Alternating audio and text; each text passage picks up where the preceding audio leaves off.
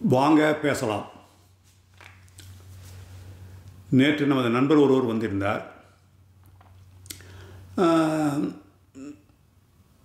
இந்த நமது ஏதோ நிறைய விஷயங்களை பற்றி பேசணும்.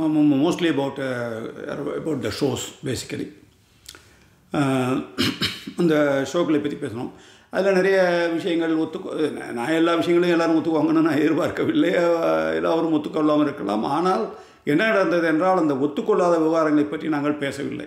ஜெனரலாக வந்து என்ன பண்ணுவாங்கன்னா இது போல் தேர்தலில் வர்றப்ப எதில் அந்த கா கான்ட்ராவர்சி இருக்குமோ அதை பற்றி ரொம்ப நிறையா பேசிட்டு போவாங்க. பட் ரியல் லைஃப் விட்ருவாங்க ரியல் இதை. ஸோ இதில் வந்து அதை பற்றி நாங்கள் மெதுவாக பேசவே இல்லை. சரியா நிறைய common meeting points and agreeable points இருந்தது. அதை பற்றி கொஞ்சம் பேசிக்கிட்டு இருந்தோம். ஃபைனலாக வந்து ஒரு அதாவது இது நூறு நூறாவது ஷோ இன்னும் வரல வரப்போகுது. ஸோ அதை பற்றி என்ன பண்ண போகிறீங்கிற பேச்சு வந்த பொழுது நான் சொன்னேன் சரி நீங்கள் ஒரு டாபிக் கொடுங்கள். நான் இப்போவே அந்த ஷோ இப்போயே பேசுகிறேன் அப்படின்னு சொன்னேன்.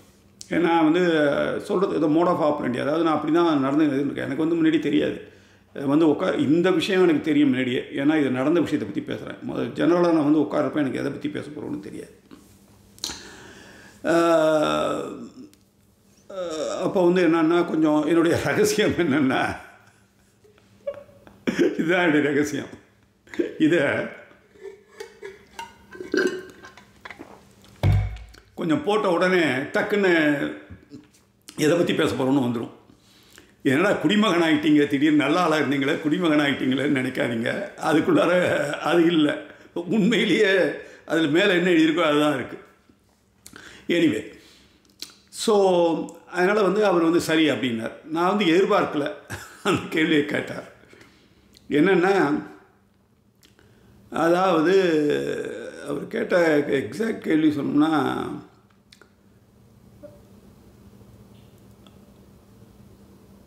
அதாவது நாம் யார்? நாம் எங்கே எதுக்கு வந்தோம்? அப்படிங்கிற மாதிரி கேள்வி. நாம் யார்? நாம் என்ன வந்தோம்? நமக்கு நம்மள என்ன செய்கிறோம்? நம்மள என்ன என்ன நம்ம செய்ய வேண்டும் அப்படிங்கிற மாதிரி. நாம் யார்? ஸோ எனக்கு கொஞ்சம் ஸ்டன் ஆகிடுச்சு சரி நான் பேசுகிறேன் அப்படின்னு சொல்லிட்டு பேசினேன். ஆனால் அப்போ வந்து நான் பேசும்பொழுது அது ஒரு ஆரம்பத்தில் சில விஷயங்கள் சொன்னேன். அதை நான் இப்போ வந்து நே நேராக சொல்லணும் அப்படின்னா சொல்லலாம். ஓகே. என்ன சொல்கிறேன்னா நாம் வந்து யாரும் இல்லை. என்ன? அதாவது நாம் ஒரு கெமிக்கல் ரியாக்ஷன் அவ்வளோதான் as long as the chemical reaction is continuing we are we are alive. When the chemical reaction stops we are done. அது வந்து அந்த பதில் எல்லா மனிதர்களுமே ஒரு இழிவுபடுத்தக்கூடிய பதிலாகத்தான் காண்பார்கள் ஏனென்றால் இந்த மனிதர்கள் நாம் யார் what is the meaning of life நாம் என்ன செய்ய நமக்கு நம்ம என்ன தான் செய்யணும் நம்மள்கிட்ட என்ன தான் எதிர்பார்க்கிறது அப்படிங்கிறது எல்லாமே ஒரு ஈகோயிஸ்டிக் வந்து ஈகோயிஸ்டிக் கைண்ட் ஆஃப் கொஸ்டின்ஸ் அதாவது நான் இவர்கள் என்ன நாங்கள் மனிதர்கள் அசியம் பண்ணுகிறார்கள் என்றால் நாம் மாறுபட்டவர்கள். புரியுதா? நாம் வந்து ஒரு ஒரு பெரியவர்கள் மாறுபட்டவர்கள் நம்ம வந்து ஒரு நம்மளை வந்து ஒரு செத்தோம் பூமியில் டஸ்ட்டாக போகணும்னு ஒத்துக்கிறதுக்கு இவருக்கும் விரும்புறதில்லை கிடையாது. நம்ம அதை விட மோர் நமக்கு ஒரு இது இருக்குது என்ன இருக்குது ஒரு அந்த உயிர் அதுக்கு மேலே அதுக்கு வந்து நம்ம என்ன சொல்லலாம்? சோல்னு சொல்ல சோலே சொல்லலாம் அதனால் என்ன? இந்த ஊரில் சோல்னா அது ஒரு கற்பருடைய வார்த்தைன்னுட்டு இந்த பசங்களுக்கு. Soul. Let's copy let's call it soul what heck soul ஒன்று இருக்குது அது வந்து எங்கே அப்படிங்கிற மாதிரியெல்லாம் நம்ம சொல்லணும்னு எதிர்பார்க்குறாங்க. நம்ம செத்து போனோடனே நம்ம தலைக்கு தரைக்கு தான் போகிறோம் நம்ம ஃபிசிக்கல் பாடி தான் போதே தவிர நமக்குன்னு ஒரு ஸ்பிரிச்சுவல் பாடி அல்லது சோல் அதெல்லாம் இருக்குது அதெல்லாம் லீவ்ஸ் அப்படிங்கிற மாதிரியான ஈகோயிஸ்டிக் திங்கிங்கில் நிறைய பேர் இருக்கிறதுனால நான் நீ வந்து செத்தா யுவர் எ டஸ்ட் அப்படின்னு சொல்கிறத அவங்களால ஒத்துக்க முடியவில்லை. அதான் நான் சொல்கிறேன் அதெல்லாம் egoistic but there is nothing like that just you நம்ம we are formed our self அப்புறம் அப்படியே நம்ம இருக்கோம் போகிறோம் சாப்பிட்றோம் அவ்வளோதான் ஒன்றும் இல்லை. நான் ஒன்ஸ் நான் செத்துட்டேன்னா இந்த all all these my egoistic stuffs are gone completely நம்ம பேர் கூட கொஞ்ச நாள்லேயே போயிடும். ஆஹ், சில பேர் இருக்கு பட்டு அது அவர்கள் அது வேறு விஷயங்கள். பட் எனிவே செல்வத்துக்கு பேர் இருக்கும். பட் சில பேர் அதிகம் நினைக்கிறாங்க நமக்கு நம்ம பேரை பற்றி கடைசி வரைக்கும் சொல்லணுங்கிறதுக்காக சில விஷயங்கள் செய்யணும்னு நினைக்கிறாங்க. அதெல்லாம் சொல்கிறதுனால ஒன்றும் கிடையாது. அவன் ஸோ அதெல்லாம் கிடையாது. எனிவே அதெல்லாம் விடுங்க. ஸோ வந்து அவர் கேட்ட கேள்விக்கு இதுதான். We are all chemical reaction and then when the chemical reaction நம்மளுக்கு ஒரு complicated chemical reaction it's not like a fire just you ஒரு குச்சி எடுத்து ஃபயரை வச்சா எரியும். அதுவும் லைஃப் தான். அதையும் இது நம்மளையும் ஒன்றா சேர்க்க வேணாங்கிறவங்க தான் அந்த லைஃப் நம்ம life is different than the the life of a fire in fact இதுக்கு வந்து லைஃப் ஆஃப் எ ஃபயர்னு கூட நான் இதுக்கு ஒரு தலைப்பு வைக்கலாம். லைஃப் ஆஃப் எ ஃபயரோட நம்மளுக்கு வந்து டிஃப்ரெண்ட் நினைக்கிறாங்க. அது that is the egoistic explanation of life the real definition of life is just that life of a fire I mean the oxygen or the fuel இந்த விறகு தீந்துதுன்னா டன் ஓகே அது பொத்துக்கிளி பெத்துக்கிளியே கித்துக்கிளியே. இதெல்லாம் வந்து ஒரு ஆரம்பத்துலேருந்து இப்படியே வர்றப்ப எல்லாம் பெத்துக்கலைன்னா நம்ம வந்திருக்க முடியாது பட் அது பெத்துக்கலை. புரியல. இந்த நம்ம முன்னாடி எல்லா ஆட்டம்லேருந்து ஒன்று ஆட்டம் ரெண்டு ஆட்டம் வந்தப்போ அது பெற்றுக்கிட்டுதுன்னு சொல்லலாம். இல்லை இல்லை அது வேறன்னு சொல்லலாம். அது பெற்றுக்கிட்டுதுன்னு சொல்லலாமே. அது மாதிரி வந்து நம்மளும் அப்படி போட்டால் நம்மளும் பெற்றுக்கலாம் இந்த ஒரு form became very more and more complicated so it becomes another a process அப்படி இப்படின்னு அந்த பெற்றுக்கிறதுங்கிறது ஒரு இதாக போயிடுச்சு. அதனால் நம்ம நினைக்கிறோம் நாம் மட்டும்தான் பெற்றுக்கிறோன்னு ஹைட்ரஜன் பெற்றுக்கிட்டதுனால தான் நம்ம எல்லாமே வந்தோம். ஹைட்ரஜன் பெற்றுக்கல ஹைட்ரஜன் ஹீலியத்தை பெற்றுக்கலன்னா யாருமே வந்திருக்க மாட்டோம்.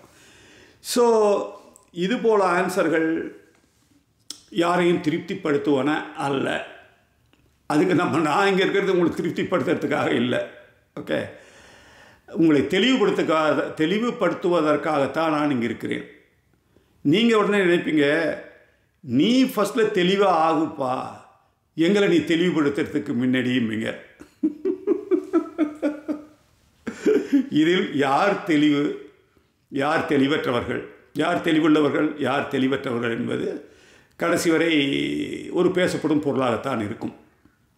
ஏன்னா என் கையில் மைக்ரோஃபோன் இருக்கப்ப நான் தான் தெளிவுள்ளவன். எடுத்து வச்சுங்க.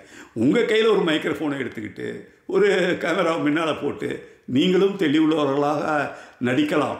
ஓகே ஸோ அது அடுத்த வேறு டாபிக் பட் எனிவே ஸோ இப்போ இதெல்லாம் சொன்னோம் பண்ணோம்.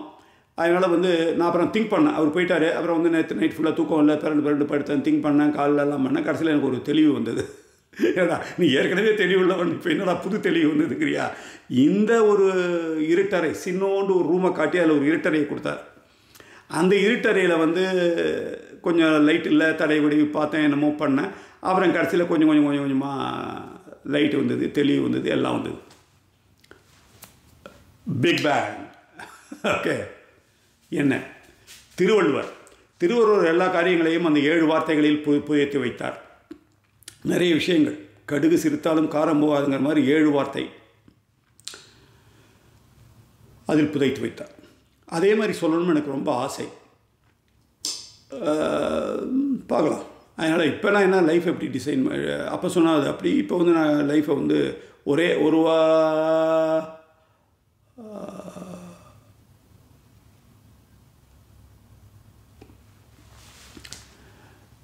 சொல்லலாம் ஒரு ரெண்டு வாரத்தில் இன்இக்லிபிரியம் ஈஸ் லைஃப் மூணு வார்த்தை.